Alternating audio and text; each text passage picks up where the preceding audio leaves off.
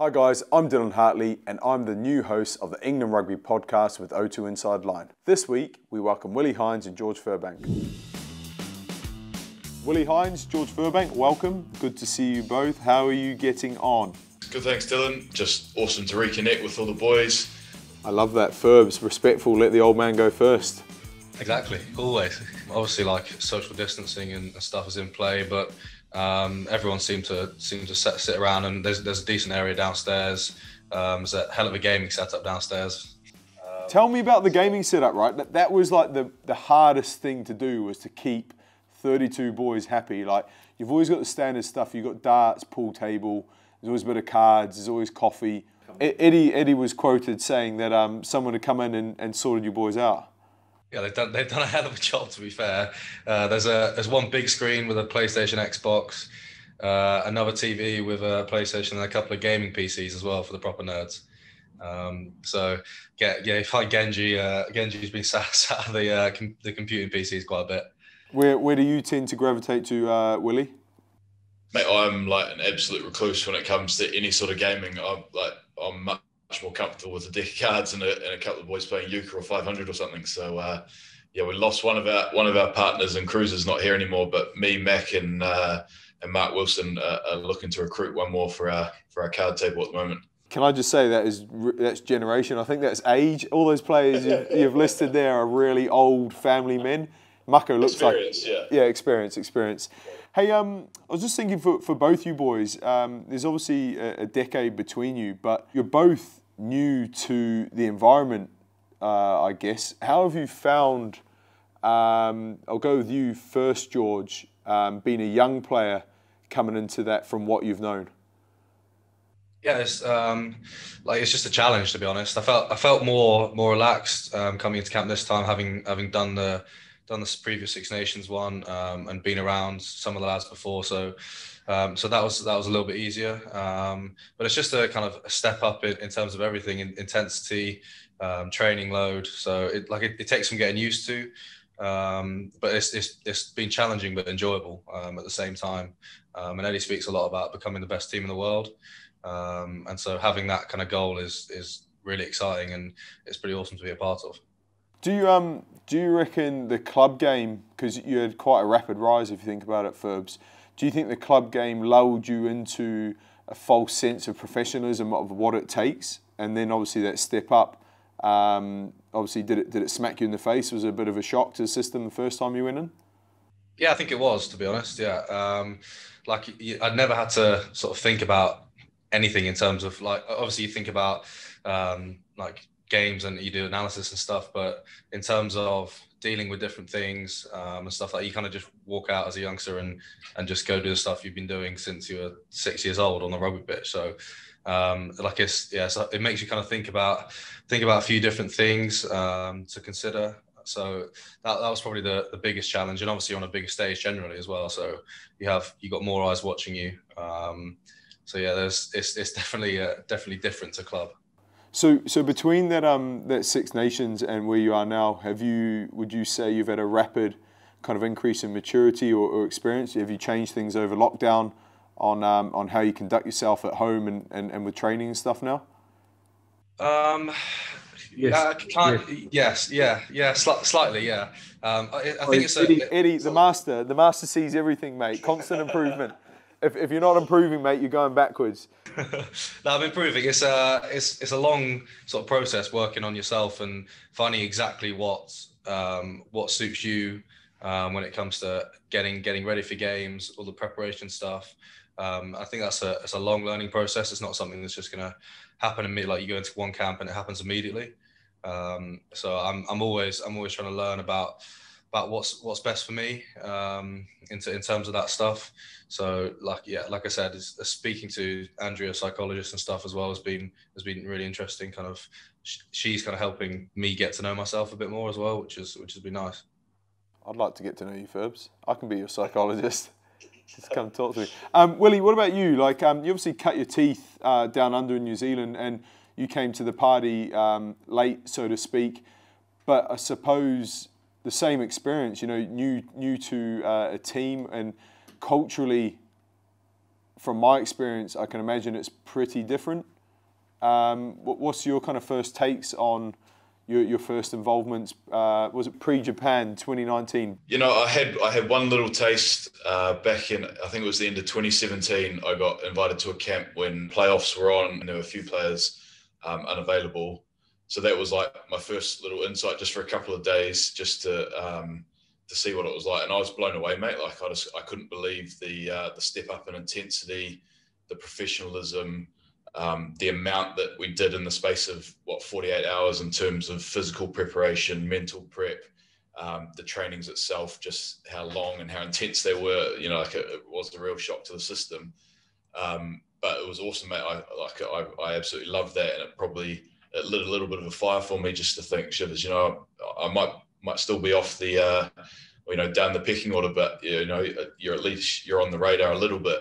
Um, and then once we did come into to camp for um, pre World Cup, that was um, I guess that was the the real uh, you know starting point for me in terms of um, potentially you know getting into the squad and um, you know while I was 32 and, and older and had, had, played a fair bit of rugby, I felt like one of the one of the young boys. You know, I was I was new, I was nervous.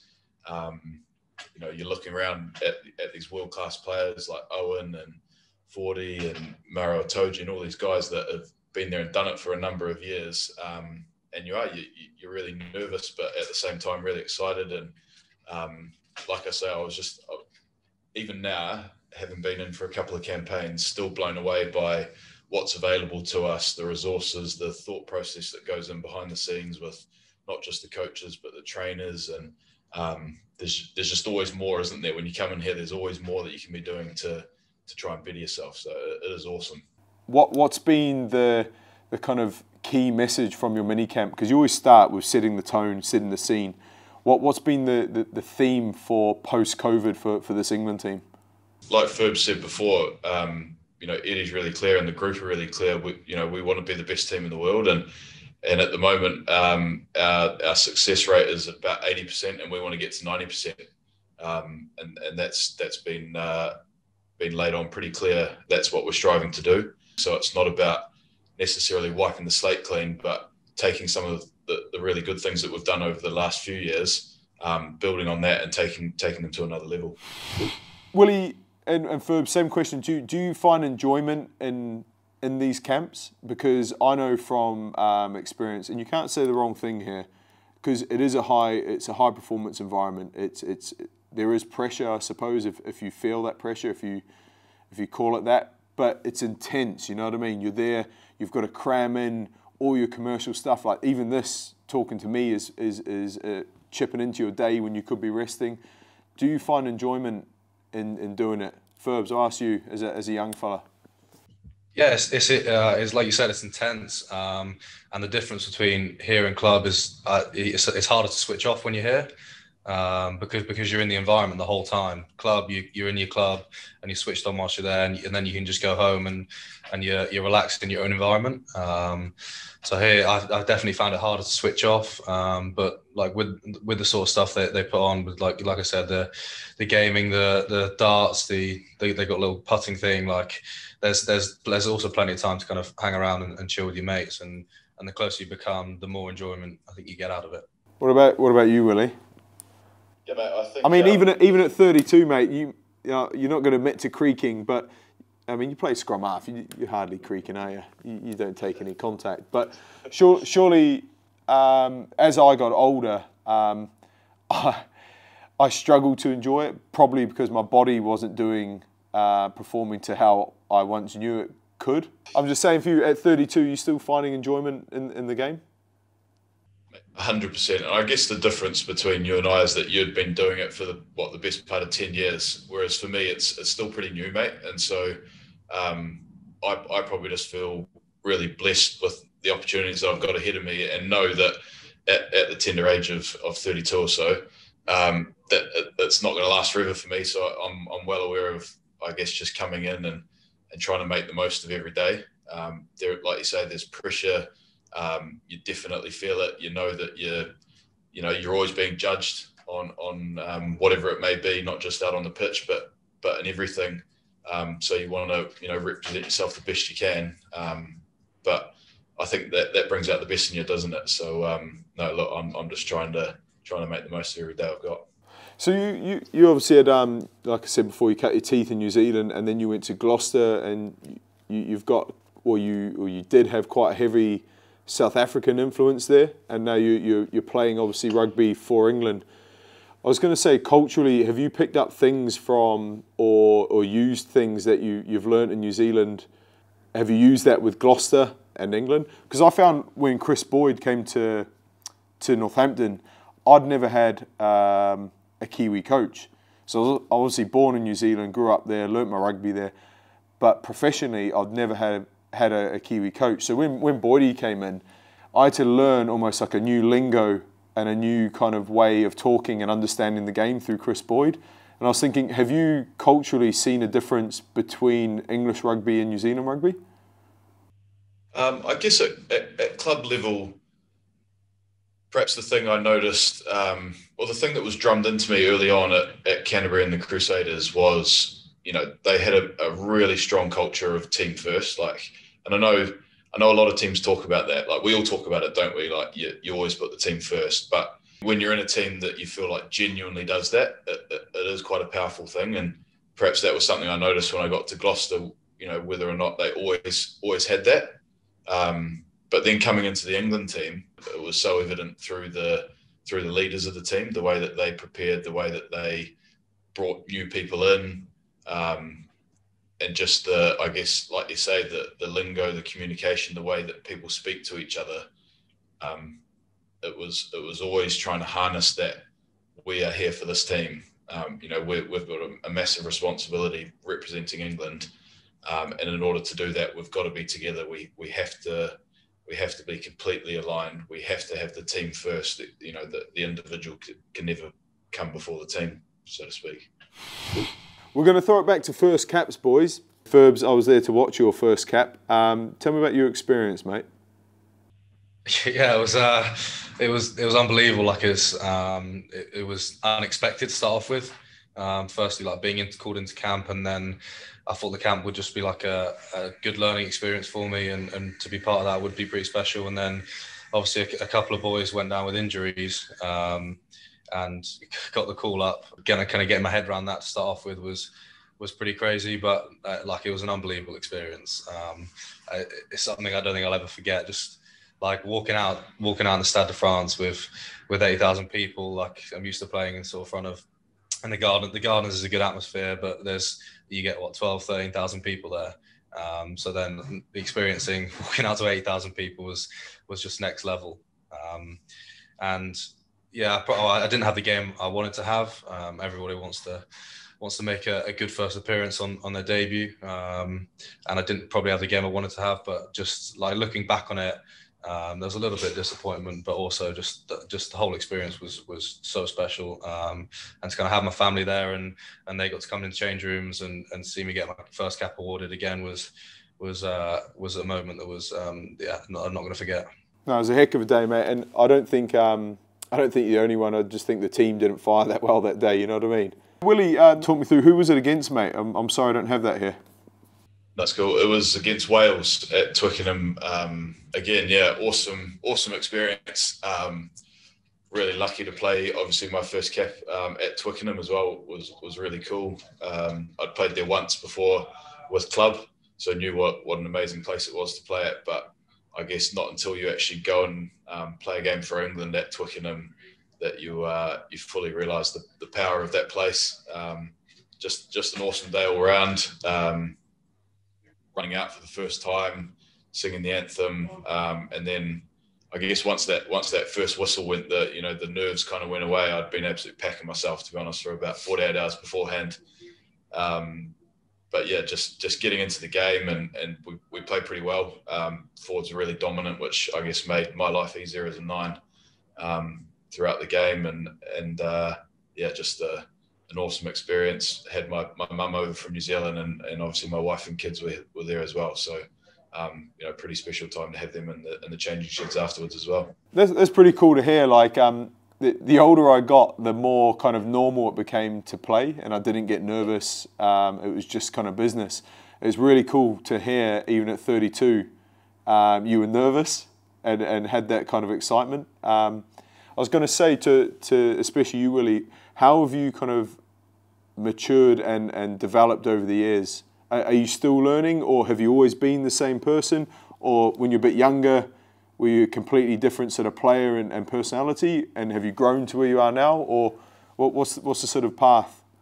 Um, I look, I think I've always had a um, a pretty curious kind of mind uh, when it comes to the game. I, have tried to have a, a, really open mind, and um, you know, early on was lucky enough to be coached by some some guys that were really um, really big on like a growth mindset and and never I guess never feeling like you you've cracked it or you're the, the finished article. So um, have tried to be coachable and, and and listen to those people that are advising you at the time. And I guess the thing I love about um, being in this environment as well is Eddie makes it really clear what he expects from you, and he and he keeps things pretty simple. And I think um, when you are first starting out, you just want to be you kind of just want to be told a little bit what's expected of you. Go out. I want you to nail these two things. Um, he, he, always keeps it to one or two points and go out and sort of build your game around that, and then other things will happen off the back of it. Um, when you get inundated with detail, sometimes that you just sort of become a bit half cooked and you don't do anything well. So, um, yeah. I, I, suppose as um, as a general, I suppose as a, as a halfback, you've got a lot on your shoulders. And the one thing Eddie did for me was like, do not worry about any of the noise, any of the media noise. All I want you to do is hit rucks, be the best set piece hooker in the world, and make your tackles. He said, I don't even want you to like make big tackles. He just said, be defensively sound, hit rucks, and be, you know, great at set piece. And then it kind of freed me up massively just to go do those three things. Whereas before, coaches kind of wanted this all-round performance, or they didn't even give you that direction of what they wanted. But I think having clarity in your head about what you need to achieve um, is quite powerful. So, so Furbs, um, Willi's obviously talked about Eddie's sort of clarity, what what he wants from from Willi. Do you know what's expected of you? Yeah, he um, he actually spoke to me uh, after after the France game um, and said he said to me like to, to be to be one of the best fullbacks in the world you just got to do the, the basic you have your basic skills and do them be solid with them um, and don't go looking for for any headlines basically um, he said he said if you do the basics well in a game one thing's going to happen um, and and you'll look like a world beater so um, he said just just really focus on them um, get them right concentrate on those in a game um, and, and don't go don't go looking for looking for something that's gonna that's gonna stand out basically. Furbs, there's a rumor that you're only in the England team because you win and you win and play for Randwick. You and Alex Moon.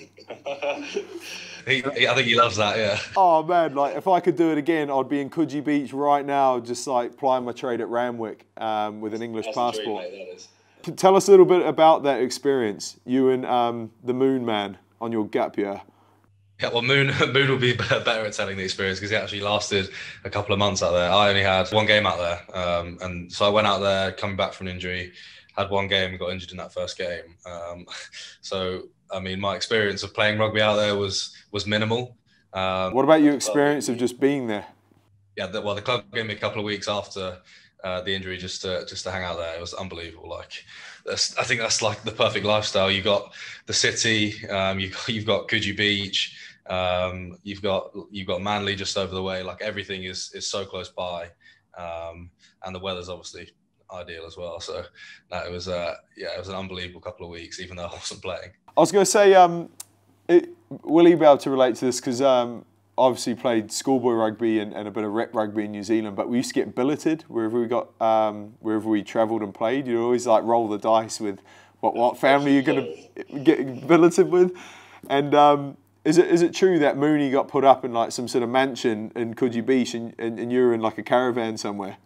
Oh, like his his place was unbelievable. Like it was uh, like just just off the just off one of the beaches, um, overlooking the ocean. Like big glass front, swimming pool, like it was it was unbelievable. Like he had an unbelievable gig, and and uh, me and him are actually both still in touch um, with those with that family. They're a really nice family, so I spent a lot of time around there. So what about the family you were with? I, I keep in touch with them a little bit. Yeah, they were they were, no, they were nice. All right, that, that leads me on to my next question. Uh, you know, humility and, and being humble. Willi, what, what's the um, the what do you see in terms of um, your generation of player, and when you look at Furbs' kind of group? I've got a pretty strong opinion on them, but um, I'd like to know what you see. Well, they spend 90% of the day like that. We spend a little bit more of our day like that. I'm, I'm with you. I'm with you. But uh, in terms of. What's your opinion, Dills?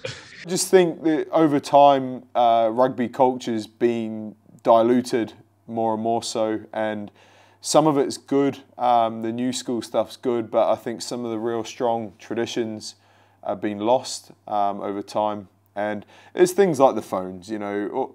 I remember just phones being in the changing room were a no-no. And, you know, I see guys on, on Snapchat before a game now because you're addicted to your phones. Um, the social dilemma, watch that on Netflix, it'll teach you a lot about your phone. Guys are literally going, I, I see them on a bus going Instagram, Twitter, Snapchat, just bouncing. And I'm like, you should be thinking about the game. You should be on your, if you're looking at anything, you should be looking at your notes. I, I don't know. I, I sound like an old fart, but there's just culturally a few things that I think have been lost over time, and um, it's probably people like me that haven't passed on those things. It's my fault. Willi kind of covered it before. Culturally, there's a few differences. You know, the majority of the boys are playing uh, Fortnite or FIFA, and you're playing cards. Is there any other kind of obvious um, things that you see? There, could be good I things as well. There could be good, Willi. I don't know. There's there's there's probably lots in, in what you say there about you know the responsibility of guys our age to actually pass some of those traditions down. Maybe maybe we've uh, maybe we've not done that as well as we could have. I think um, there's, there's like good sort of things that have happened, and I kind of picked up on it towards the end in terms of like the professionalism. Like I just had Jonny May on here, and I see him. He, he's probably seven, eight years younger than me. Maybe not. Geez, I'm not that old. But the way kind of Jonny conducted himself as a younger player, how professional and diligent he was, those are some of like the the good sort of traits that I see in some of the young players now. They're so professional from a young age. Where like I didn't work out my diet until I was like 30 years old. I didn't work out like training and I didn't understand that stuff. But now like they're coming through. They're just like Fordy and Owen, 16, 17 years old. They're playing professional. Like at 16 years old, I was dossing. You know what I mean? Um, so in terms of good things, uh, I think there's a lot of good stuff coming through from the young fellas as well. Furbs, what do you reckon? What, what about your what about your your age group?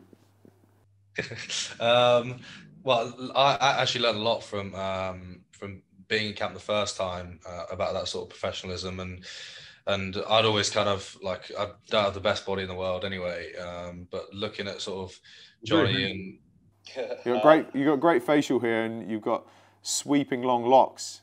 yeah, that, that, does nothing. That does nothing for rugby, though, unfortunately. i do for a lid like that. uh, Willi, Willi, would you would you settle for this? Mate, you're going all right. I, am not, I'm not one to throw stones ever. I'm going. I'm not going all right. I'm going. That's about it.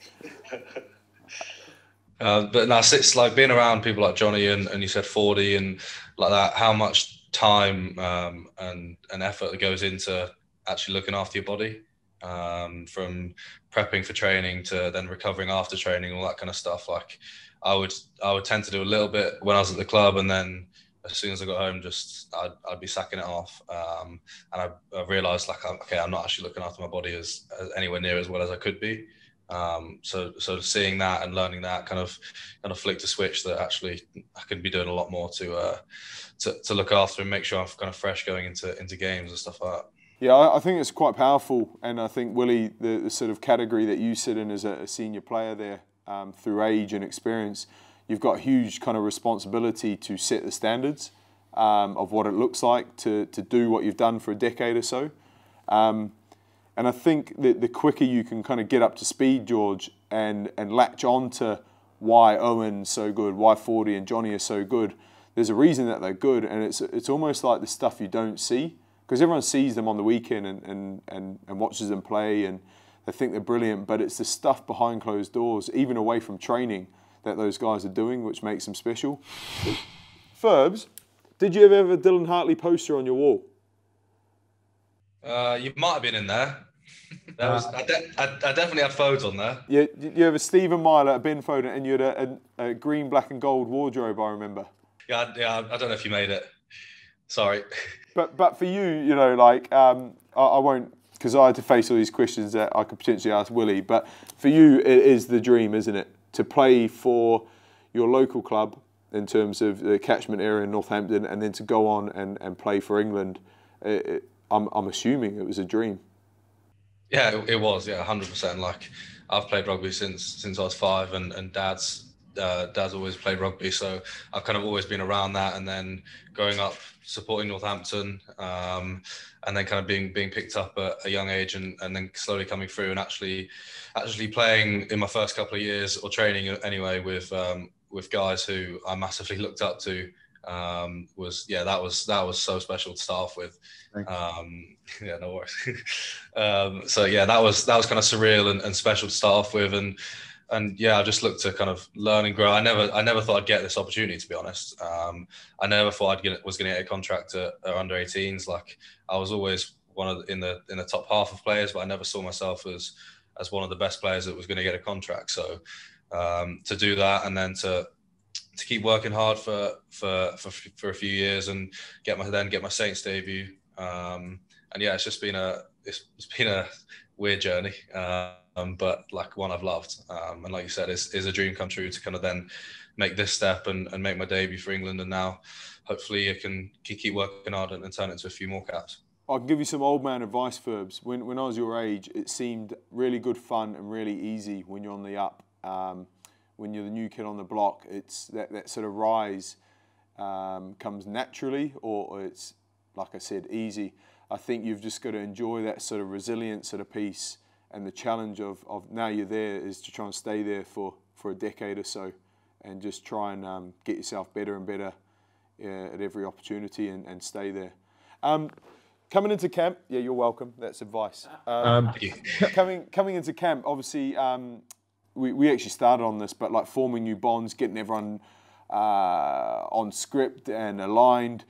Like, are you guys able to, to room together, or is COVID kind of um, so you're in like prison prison cells? Yeah, I'm not even allowed in each other's rooms. That's weird. How's Jonny and uh, George Ford coping with that? They spend all their time in the in the training centre on the mats rolling together. They are weird, aren't they? I was thinking though, in, in terms of um, do you guys force yourselves to um, step out of your comfort zones and sit next to different people at dinner and kind of form those new friendships. Um, eh, you know, grab coffee with boys. Do you, do you, kind of throw yourself out there, push yourself out there? Yeah, look, I, don't think it's it's not too hard to do, is it? Like you've the the environment that they've got set up here, like Furbs mentioned earlier, like there's there's nice little chill out zones. Um, as you know, food food and stuff's always unbelievable. Um, there's coffees on hand, so there's you get plenty of opportunity, sort of informally, to sit down and and get to know some of the new guys. And I guess you you know what that, that feels like to be that new guy. And uh, you know, if you see a bloke sitting at a table by himself, you don't just want to leave him there um, twiddling his thumb. So you go over and, and have a chat. And um, you know, everyone in these environments are good buggers, and it's just about getting to know people, isn't it? Well, I'm, I'm happy it's changed. And uh, in 2008, the first time I turned up to camp, all the Leicester players were sat at one table and they didn't even look up from their soup to say hello, and I just kind of sat on the table by myself. But times have changed. Um, and I, I, know you guys make a big effort to make it uh, inclusive and welcoming. And um, do you know what? I think that's, um, I think it's a powerful thing when, when everyone feels a part of it. You know what I mean? Um, you can get up to speed a lot quicker as well. Talk to me about weird friendships. Is there any weird friendships or unlikely friendships that you've spotted in camp? I know Genji likes to sleep in other people's beds, but we probably can't talk about that because of COVID.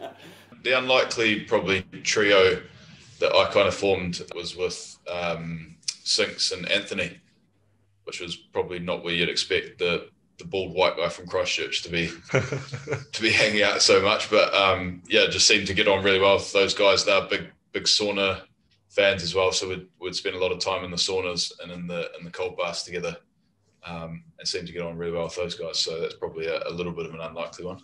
Furbs, you, you formed any any any new friendships? Um, mine was my first camp was probably with Tom Curry, um, which kind of makes sense, really similar age. Um, and he's a moron anyway, so he's, he's, he's easy to get along with. First ever tour, we went to Argentina, and he was my roommate. And he thought the whole time when I was talking to him, obviously I, was the captain on the tour, everything was a test. You know, like off the um, off the plane, um, I had a couple of like you know those little celebrations chocolates. Um, I nabbed a couple of them from the kitchen off the plane. I put them in my in my bag, and when I was unpacking my bag, I said, "Oh, bro, you want a chocolate?" And he's like, "Is this a test?" And I was like, "No, do you want a chocolate?" And he's like, "No, no, you'll tell Eddie." And I was like, "I was like, Curry, stop being an idiot. It's just a, it's like a little Snickers." I was like, "Do you want a chocolate or not?" And he's like, "I do, but I think you're going to tell Eddie." But that is what I was dealing with. Was, he was about 18 years old at the time, and the last time I toured Argentina, he was nine. Um, it, was a, it was a strange tour. I want to talk to you about the master. How do you find working for the boss? Because I know Eddie, uh, very charismatic. Uh, he drives he drives um, high standards. I'll ask you, Willi, because you, have probably had um, uh, quite a few coaches in, in your time. How's how's he compare um, to, to everyone you've worked with before? Yeah, look, he's um, he's he's so unique, isn't he? The way that um, the way that he prepares a team, um, you know, in my opinion, is probably second to none, just in terms of um, the amount of uh, detail that he delivers, not only himself but through his other coaches, through the the support staff. Um, but to me, the the thing that probably stands out about him is the the way he speaks to players one on one, and and the way he seems to be able to get the best out of people, and and that relationship is probably different from person to person. You know, the way he speaks to me is probably different different to the way he speaks to Furbs and the way he speaks to Sinks or whoever it is. He's probably got a different approach based on who you are as a person, where you're at in your career. Um, but he just seems to have such a good handle on that. And um, you know, like I mentioned earlier, the way he he seems to be able to just simplify things when they need to be simplified, um, give you really good direction on what's expected. And, and I just feel like the way that he, it's sort of hard to explain, but the way he builds a team through the week, that was something that I thought was just amazing. I, I probably hadn't felt that before in terms of, um, you know, when I when I first came in for our, uh, the first test match, just seeing the way that um, there was like just this intensity rise throughout the week. Start off the week quite challenging boys, we have to be doing this. Um, you know, this isn't good enough at the moment. We, have got to be nailing these two or three things down. And then by the end of the week, it's boys, you're so ready. I've never seen a team so ready to go and do this. You're going to do this. You're going to do that, and like you're frothing at the mouth, ready to go by the time by the time the first whistle comes. And um, yeah, it's it's a pretty cool thing. I'm not sure if you felt that. Yeah. Do, do you know what? Like, I think that's probably one of his uh, USPs is, is probably his age and his experience. Like he, he's been there and done it. And because he's a bit like yourself in terms of always wanting to grow and learn, um, he's always looking for the next thing and he's always learning from things that haven't worked. He's basically been there and done it. And I remember going into the office and having my daily meetings with him, which was sometimes good and sometimes challenging. They're always challenging.